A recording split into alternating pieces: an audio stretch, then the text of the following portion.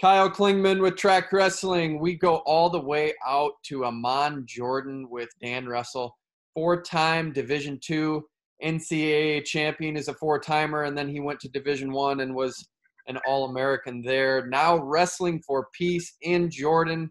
Dan, welcome.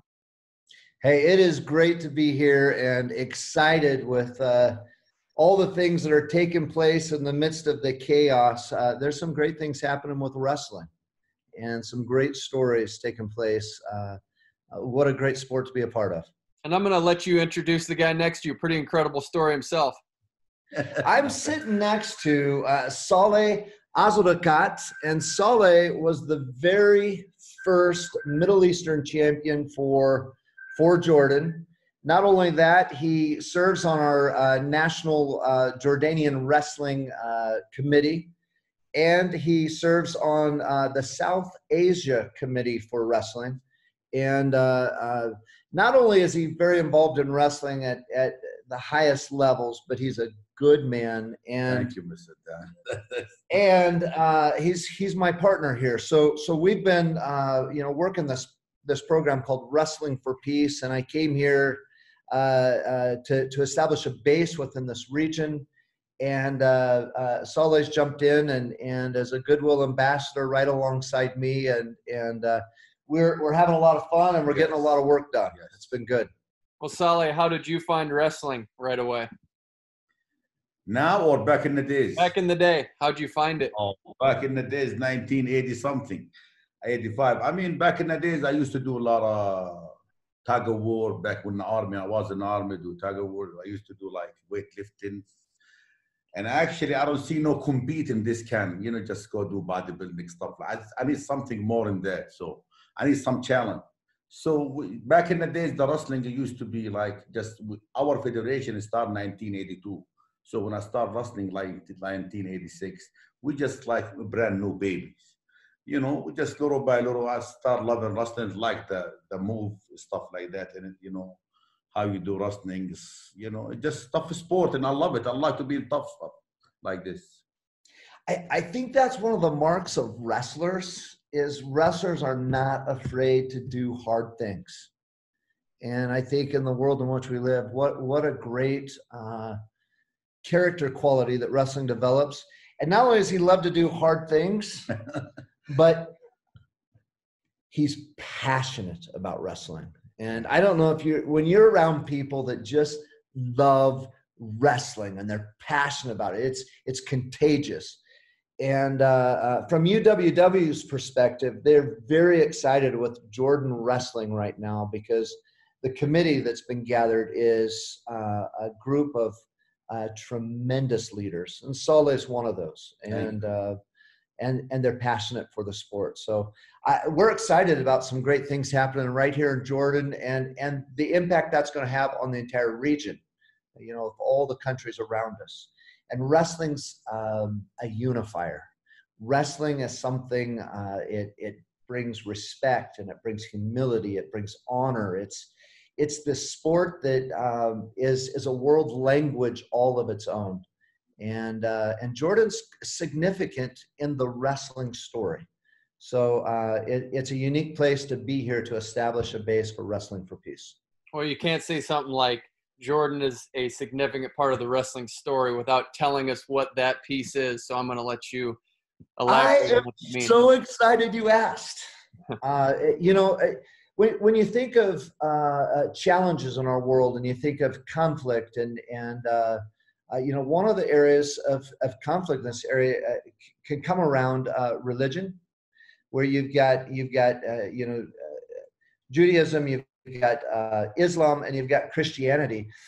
But wrestling is a unique sport that's tied right here to Jordan. Jacob wrestled with God in Jordan on the ford of the Jabbok River and uh, that story is is a is a huge story within the the uh, Jewish and and Christian culture.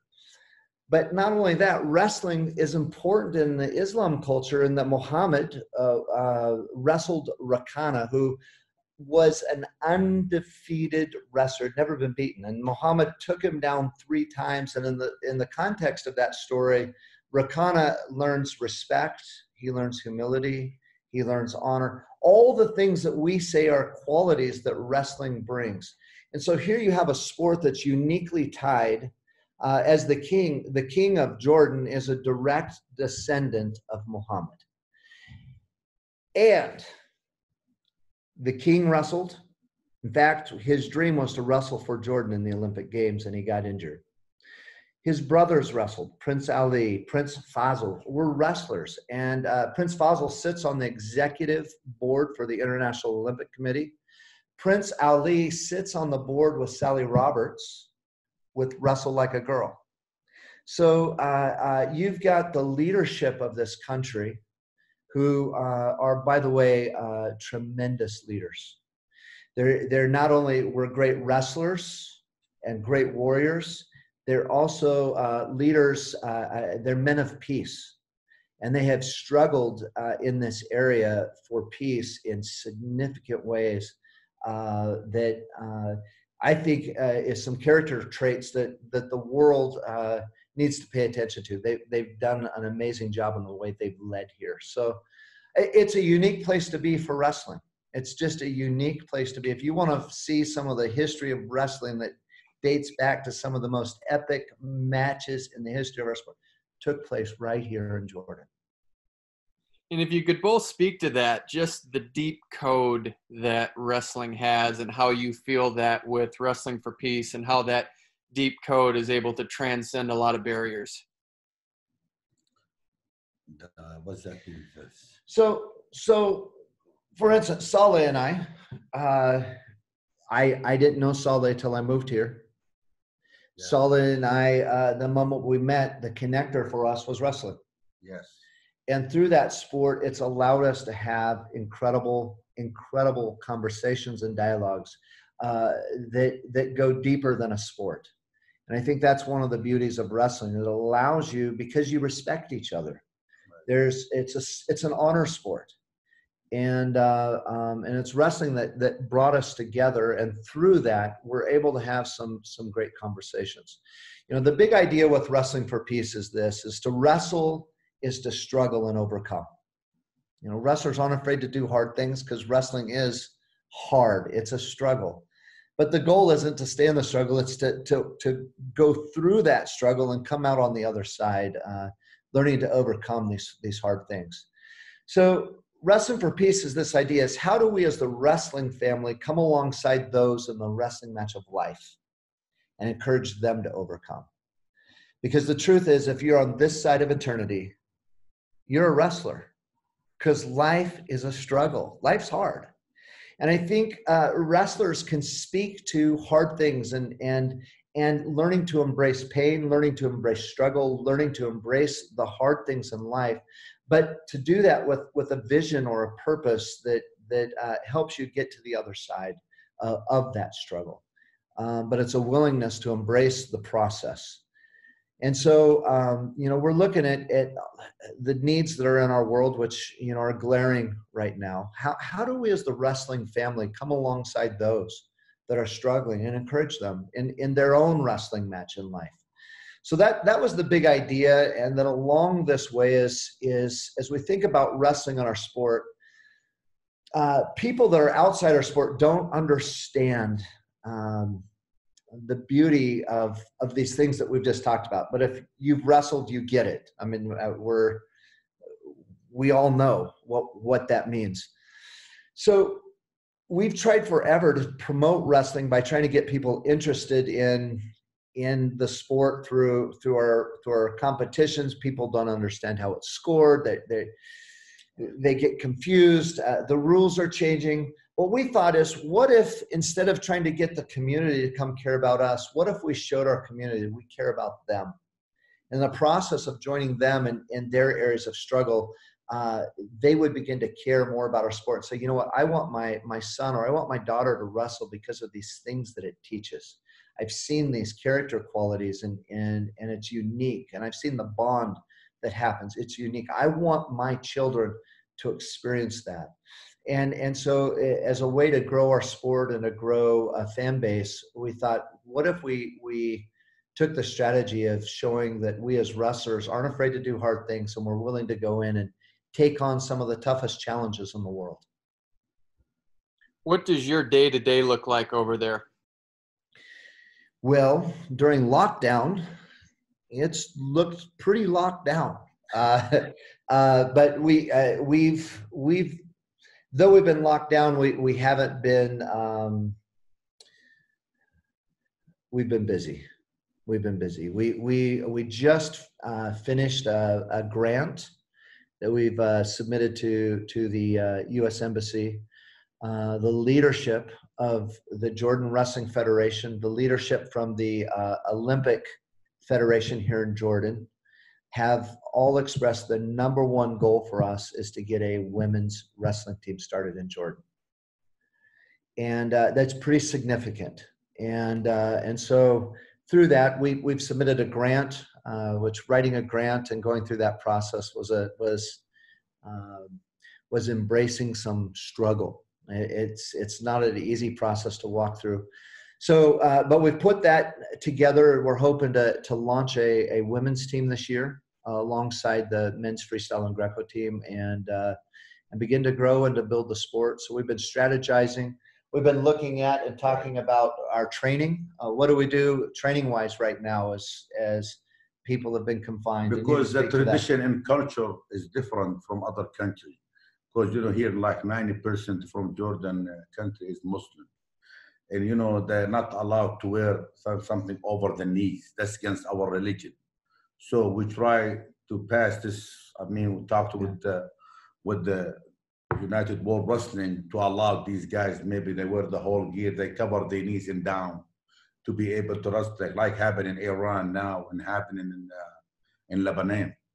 So we need to get a coach because man, a trained woman is just for like forbidden or dislike, like their family doesn't like, you know, touching, throwing some man touch a woman this is from our culture and our uh, religion is it just dislike or just forbidden. So we try to get a woman to help this national team of Jordan. And we have a lot of jiu-jitsu women actually, they wanted to be a wrestler because the jiu-jitsu is, is, is, is not Olympic game. So they want to be with the Olympic game as a wrestling to be high level and just we need to train to talk to Mr. Don. If we get a woman, she train the national team here and we could make it growing, growing. If we have a coach as a woman, it's going to be huge. Long we have a man, everybody's going to be hesitant. Yeah. Well, Dan, you know that there's a couple big names in our sport named Jordan, Jordan Oliver, Jordan Burroughs. Why don't you get them over there for an all Jordan camp? That is a That'd brilliant awesome. idea. Yeah, yes. and and you know it's I from a strategic standpoint, because I know my brother and I know his passion for this team to be as as fine tuned and ready uh, for their world competition. Uh, I've I've talked with Jordan Burroughs and I've said once uh, you start looking to a transition, I I want to help prepare the base for you to be able to to take this to the next level. Um, and uh, uh, and I know that uh, um, right now their focus has to be on on on their performance at the Worlds, at the Olympics, and and uh, and dealing with that. So I don't want to be a distraction because my brother would not be happy with it. but uh, um, but at the same time, yeah, I, I I see an opportunity for us as we build this thing for for wrestlers when they transition because that's one of the most difficult things when you've competed at, at, the highest levels and then all of a sudden you're no longer competing what's next? Uh, I, I hope to, to help be a bridge for athletes to have a place where they can go oh this is something i can do next. And not only is it something that i'm passionate about and love it's something that's going to be doing a lot of good in our world. It's going to make a it's going to make a difference. And so, you know, it's as as we look at this, the program Wrestling for Peace, USA Wrestling for Peace, is a small uh, uh, beginning process. But as we grow this and we do it right, uh, build a good foundation, I see this as being a significant uh, program uh, within our wrestling family. Talk about wrestling family, and it just comes through how much you love wrestling And I imagine it has to hurt that Portland State dropped wrestling and that you don't have a program that you can identify with anymore. You had to go there, didn't you? I did. you know, you know, it, it really is an interesting thing because when you when you sign on at a college and you make a commitment there, and for me, uh, uh, I felt when I said yes to Portland State because I had I had options to go anywhere, but when I said yes to Portland State, it, for me it was if I said yes here, I need to honor that commitment, and uh, um, and so you know there could have been bigger programs there could have been other places that i could have gone but i chose to stay and and i got to wrestle under a phenomenal coach Marlin Grahn, uh, another guy that just passionate about wrestling. The guy would not leave a tournament until the last match had wrestled. I don't care where we were. He just loved wrestling. And and i loved being around him for that reason. Uh, portland state though was a historic program. Uh, rick sanders first world champion. Uh, multiple Olympic medalist, uh, uh, a creative artist with the sport, and the history of that sport was was incredible. So, you know, you go to the NCAA tournament, and and there is a sense you almost feel like an orphan, and uh, um, because your team's not there. Uh, you, you don't get a root on uh, you know the colors that that that you you went through blood sweat and tears um, so yeah, it's uh, uh, those are difficult things, and I think uh, as we watch uh, the back end of this uh, and watching programs talking about potentially dropping, it it grieves me because it's short-term perspective. When I think of the long-term benefits that our sport has, I don't think there's a time in our world where our our world has needed wrestling more, and the the character qualities and and the things that wrestling teaches we need as a world we need wrestling and uh, and it's the one program that people should be holding on to and fighting for and and cheering on because of what it does and the and the kind of uh, uh, the kind of people that it attracts. Um, um, a lot of them have come through some impossible situations in their childhood and, and grown up in some some difficult places, but wrestling has been a place where they found a, way through. Um, and uh, they found direction and they found focus and goals and and uh, uh, all all of these things. I so yeah, it it grieves me uh, that Portland State dropped and and uh, but every program that drops, I, I feel the same uh, kind of punch in the gut that I felt when when my own program dropped. What's it look like for you guys going forward if the quarantine gets lifted? What kind of things do you have coming up on the horizon?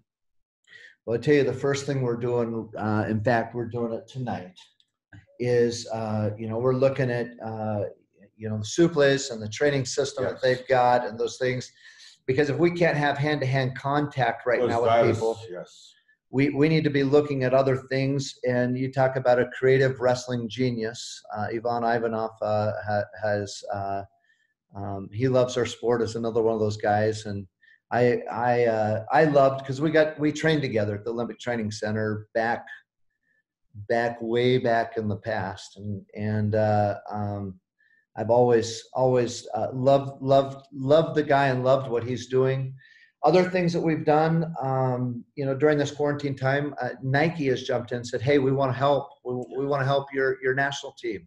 Uh, how how can we help?" Um, we're watching the wrestling family in the midst of this say, uh, um, "We we we we want to we want to help make a difference alongside you," and that's been really encouraging in the midst of this. So, next steps is we've got to get our team uh, start kind of coming back, uh, lifting, running. Yes. Um, Good in shape. Yeah.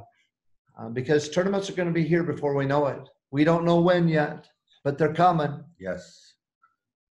And well, we want to be ready. This man, uh, do you still got a couple throws in your arsenal, Dan? You know, I love watching these other guys throw a lot more because in my mind it's there. It's right. there. I see it. I, I and and about four seconds later when i react it's gone it's too late uh, it is funny how wrestling and anybody that's wrestled you still dream about it Right. you you you still relive those moments and those matches blood. uh, yeah um, and in my mind I, I still have it but it takes me about uh, uh, 20 seconds and i i uh.